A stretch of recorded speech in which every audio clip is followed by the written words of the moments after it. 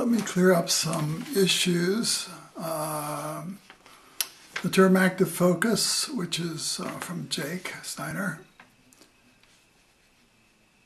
there's a lot of scientific truth if understood correctly.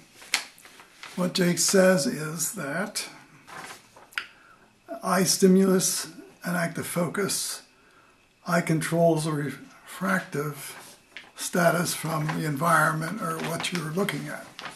There's a lot of science for that.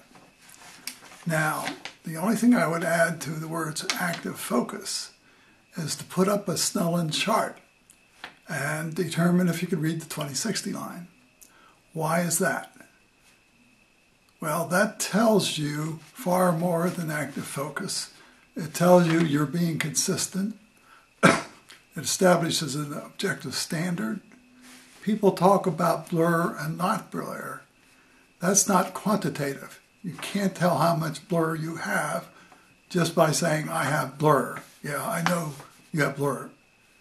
But you, what you really want to do when doing active focus is determine which line on a Snellen you read consistently at 20 feet. And I've marked up a chart with 20, 40, 60, and so forth. So I would make active focus quantitative. How much can you see? If you admit this step, I think you're missing a lot of the point of active focus. Another issue is how much support do I give to Jake? Profound support. I would say 95% support for Jake and 5% for conventional optometry. Conventional optometry believes, thinks that nobody understands anything. They believe, think that if you're slightly nearsighted, say 2040, requiring about minus one diopter, it's permanent. You'll never ever get out, and it will just keep on going down and down and down. Seems to me they should tell you that. Jakes thinks if you're 2040 on your Snellen 2050, you can get out of it by doing active focus.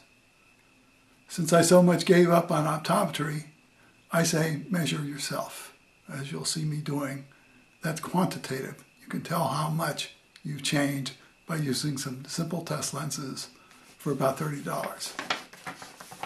Depends on how much science you want to have in this process. Another term, pseudomyopia. Exactly what is that? Nobody ever defined it. It doesn't mean anything until you define it. So let me define it. It's when you're reading the 2060 line if you read better than 2060, you have pseudomyopia. If you can't read the 2100 line, you have regular myopia. Just to get things quantitative, how much?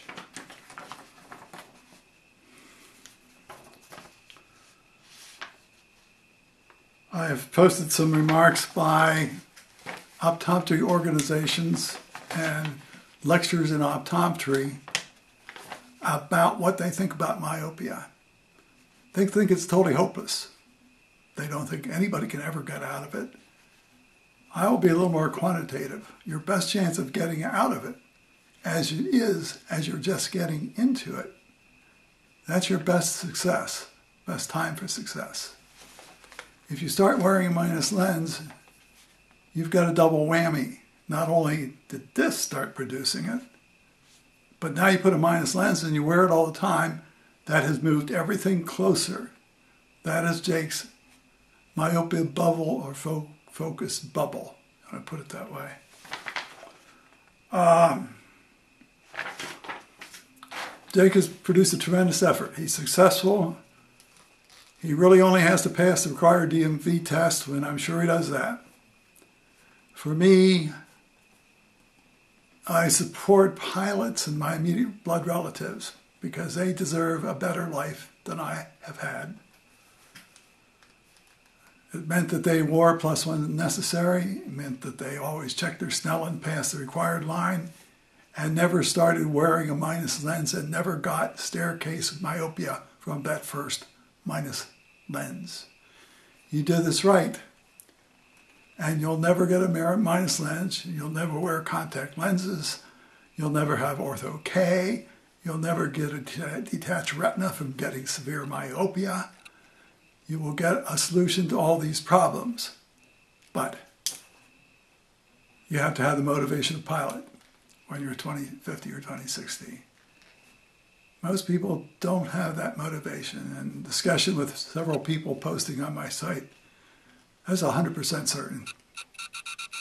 Even the optometrists I talk to say the same thing.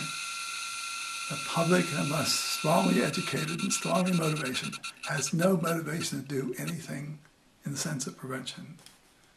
I understand that from optometrists. I don't expect anything from them for exactly that reason. But let's be reasonable.